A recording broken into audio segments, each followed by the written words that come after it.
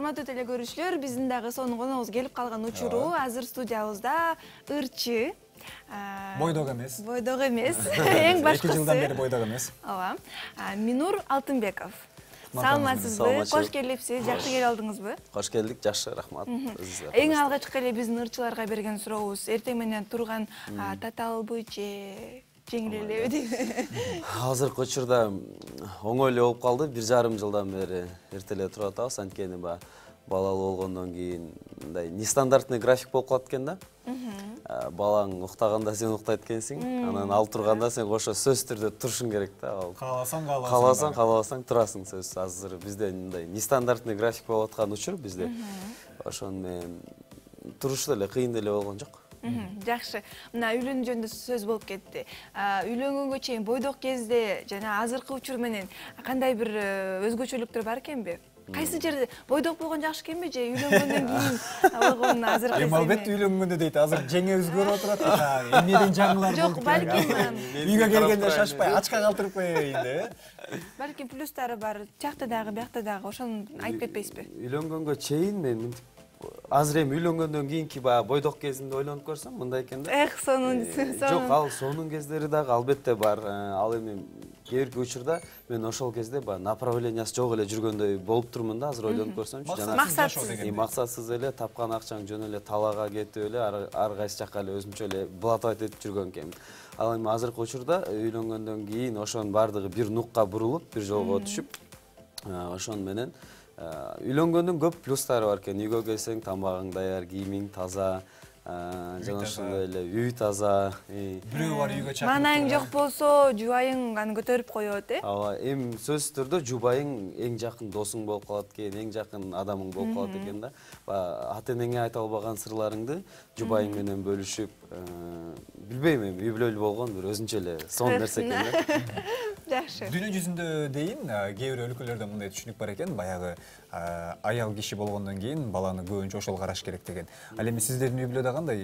Сиз дагы каралашып дегендей памперс которуп дегендей? Аябай оригинал суроолор болуп атат. Бирок эми көп эле интервьюларга барып жүрөбүз бирок мындай суроолор бериши элек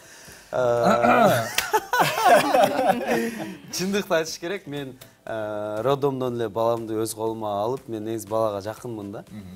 Анан азыркы учурда баламдын памперсин келинчегим бошобой калганда эми баягы аялдарды деле түшүнсө болот да все время бала менен отуруп анан алар деле эметкиси келет да мындай эс алгысы келет денеси деле талыйт чарчайт дегендейчи кечке көтөрүп жүрүп.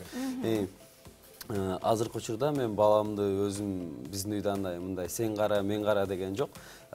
Ким бошосо ошол карап кое берет да баланы. Мен деле памперсин которгонду билем жада калса көтөрүп барып жууп койгонду билем. Өзүмчү баламды эми ал өзүңдүн балаң дагы неси эмес жаңы үйлөнүп аткан же жаңы үйлөнгөн аз гана убакыт болгон жаш жубайларга менин оюмча жакшы кеңештер болуп атат окшойт э албетте ооба. Анан азыр бизде ага чейин сизге чейин коногубуз келип кетти салтанат эже беш балалуу эне экен бирок ошого карабай өзүнүн кандайдыр бир сүйүктүү ишин сүйүктүү ишин табып ушул хобби менен алектенет экен сиздин жубайыңыз ушул балаңызды тарбиялаганга тарбиялап жана башка дагы жумуш менен алектенеби ооба башка жумуш менен алектенет. Азыркы учурда өзү негизи салондо иштечү. Анан азыр баягы балабыз бир аз кичинекейирээк болгондуктан азыр үйдө эметип атат ошол клиенттерин принимать этип ошол баягы бала торолгончо баары эле. бала торолгончокту үйдөн иштеп аткан учурда ошол убактарда мен бош болуп калсам мен уулумду карап турам. Ал эми мен бошобой калсам карындашым келип калат ушинтип. Ошондо сиз мындай жолдоштордон экенсиз да жардам бериш керек өзүнүн орусча айтканда поддержка дагы берип туруш керек э баарын. Азыркы эми бизде кыргыздарда жашаса сен үйдү да жыйнашың керек баланы да багышың керек бешөө оноолоо бала сенин мойнуңда деген. бирок ушул вообще туура эмес эме да? түшүнүк да туура сиз сизден кийин улантайын мен сиз айта бериңиз менин түшүнүгүм боюнча эми баягы келин аялды алганыңда сен сага ал бала төрөп берет деп аласың да ал демек сага бала төрөп берип атат сенин жолуңду улантуучу эмелер балдар жаралып атат да. урпагыңды. Почему бы нет? Ошону сыйлаганга деп ойлойм да менчи жакшы керек болсо биз аялдарга айтып коет экен баардык эркек жүз пайыз эркек аялдарга баш ийет деп. Себептен эмес эми аял киши төрөйт. Сени аял киши багат аял киши аял киши эмизет аял киши тарбиялайт аял киши баары бир сенин жандосуң болот жанакы бир кудул айткандай сенин аялың бүгүн сага бирдемке деп айтып коет экен анан сен «Э, койчу деп коет экенсиң анан бир күн бою ошону ойлоп жүрөсүң дейт. Ойлоп жүрүп анан кайра ошондо жыйынтыгында ошону жасайсың дейт. Ошондуктан аялдар бул эми баягы э, сен айтып калгандай э, стандарттык эмес түшүнүк бар эмеспи? Жана сен деген аялдын сөзүн угуп сен подкаблучник экенсиң деген. Бул ал нерсеге такыр жарашпайт да? Бул болгону аялдын баягы биз өзүбүз айткон- айткандай эле бейшенин таманын алдында деген нерсени эле кайра эле биз кичинекей кыз кезинен кыз кезинен баштап сыйлап өзүбүздүн жолдошу кандай десем эң жакын жолдошубуз сырдашыбыз кылып өмүр бою сыйлап өтүүгө деген нерсени айткысы келди болуш керек деп улантып өтпөйүнбү э айымдар негизи жолдошторуна жамандык каалабайт жалаң гана жакшылыктарды каалаш үчүн ушинтип эми балким айымдардын өзүнүн Анткени Э, бегим жок, айдын да жолдошу жок айымдардын өзгөчө эки тип бар да эми бирөөсү бетке айткан экинчиси мындай кичине акырын сыйлап коркуп да кеттим качан акырын дагы анан ушинтип кыйкырбай эле коюш керек да жылуу сөз менен айтканда ошол өзүм жасадым деген ой кирет болуш керек э дүйнөлүк философияга кирип кеттик Э, окшойт жакшы, жакшы. кайрадан мен минур мырзага кайтып келели чыгармачылыкка кайтып келели анткени баары бир чыгармачылык адамдын жеке жашоосундай эле эмес чыгармачылык жашоосу деген дагы түшүнүк бар эки үй бүлөсү бар деп тамашалап коет кээ бир учурда бирөө ал өзүнүн үй бүлөсү бирөө чыгармачылык деген кандай жаңылыктар болуп атат жана кандайдыр бир өзгөчөлүк деген нерсе киреби минур мырзанын чыгармачылыгына? эми өзгөчөлүк деген нерсе киргенде баягы биз эми чач- чачыбызды кызыл жашылга боеп турдuk ошол нерсеге кандай карайсыз? Хайп деген мен нерсе бул нерсеге туура эле карайм. Э, жашыл э, түзгө чачымды боёгон жатам. Мынакы Э, деп азыр айтып жубайым дагы ушул сулуулук э, жакта дагы иштеп жүргөн. Жардам берет деп баштабайсызбы?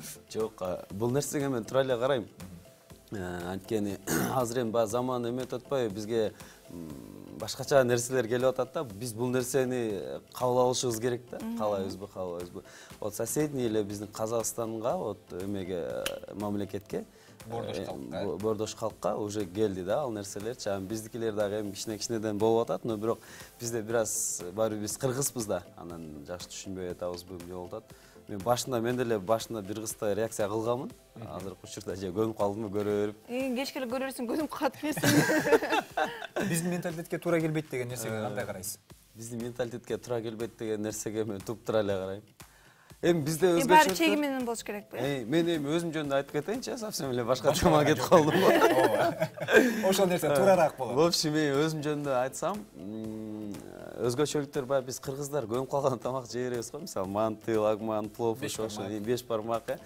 Э, мен мага андай стиль жарашпайт болуш керек деп ойлойм да. Мен ушуну айтайын деп атып турмун баягы. Жаш чачымды кызыл жашылга боеп өзгөчөлөнгүм келбейт. Мен как она есть вот ушу кандай өзүңүз айткандай творчествомду көнүп калган тамакты эле жегиңиз келет ошондой кылып ырдайын деп жүрөбүз эң сонун Жакшы. жакында гана мынакей э, дүйнө жүзүндөгү эң белгилүү э, музыка жаатындагы сыйлык болгон грэмми сыйлыгы тапшырылды. Э, эсиңизде болсо көпчүлүгүбүз жакшы көрүлгөн жеке мен өзүм мен минур мырзадай болуп өзүм үчүн жооп берейинчи мен жактырган он сегиз жаштагы билли айлиш ал жакта рекорд жаратты десем болот Э, көргөзүлгөн беш номинациянын баардыгын жеңип кетти мыкты артист мыкты альбом айтор бир топ өзүнүн өзгөчөлүктөрү менен бизде мисалы үчүн шоу бизнесте эмне үчүн мен билли айлишти мисал кылып атам дал ошондой жаш таланттардын шоу бизнеске кирип дүң жаратуусу мүмкүнбү ал үчүн эмне керек он сегиз жаштагы кыз гана дүйнөнү дүңгүрөтүп атат азыр ооба ал үчүн ал үчүн бизден болгону поддержка эле керек го дейм анан баягы бизде кичине көрө албастыктар эметип кеткен да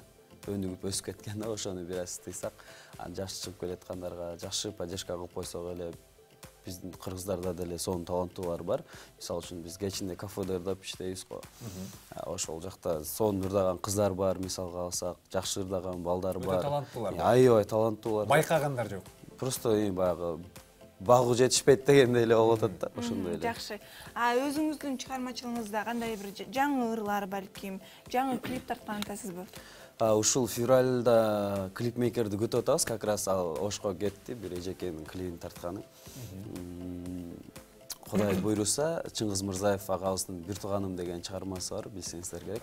Ошол чыгармасын мен жаңылап иштеп чыккан болчумун ошол чыгармага клип тартабыз деп турабыз эң сонун азыр бизге ошолорду тартылат элесиз Азыр ошолорду дайбыз. Ооба, алдыңкы мүнөттө ардап бересиз кийинки сурообузду жаңырталы шоу бизнес чөйрөсүндө бир топ ырчылар бири бири менен достошуп баягы шеринде деген нерселер менен жүрөт сиздин шоу бизнес чөйрөсүндө жакын саналаш досторуңуз ким жебе тобунан сырткары эң жакын достум ушул самат эле Э, самат экөөбүз он жылдан бери доспуз ушу бешналиога тапшыргандан бери эле жакшы достордонбуз Э, ал эми башка ырчылар менен мындай сый мамиледемин баардыгы менен жакшы учурашам Салам түз. Э, саламым түз андай конфликт болгон эмес эч кимиз менен болбой эле койсун кудай сактасын Э, өтө жакын деле досторум жок анан эми классташтарым бар өзүмдүн баягы творчествого эч кандай тиешеси жок элечи башка дагы мындай жакшы таанышып сүйлөшүп калган досторум бар ырчылардан сырткары да белгилүү бир окумушту айткан экен